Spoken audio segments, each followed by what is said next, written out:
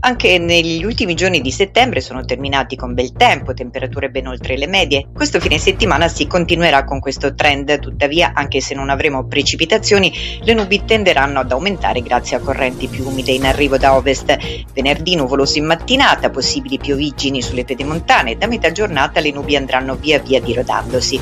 Eh, poco nuvoloso, sereno la sera, temperature stazionarie. Sabato bella giornata di sole, dal pomeriggio arriveranno correnti fredde da est Europa, tanto che i valori di temperatura minima li registreremo la sera quando in pianura si andrà intorno ai 9-10 gradi.